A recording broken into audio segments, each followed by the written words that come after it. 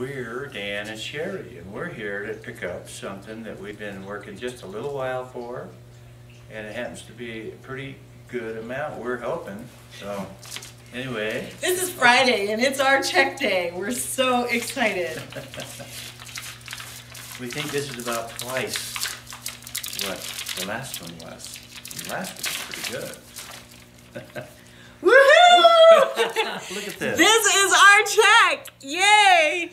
And we just had our grand opening on November 16th. And this is, we've had three checks so far. And this is the biggest, but we had one about half the size as well. So we are excited. We're coming Strongbrook is amazing. Close to the Big Ten number, and we're going way over this one next time, so.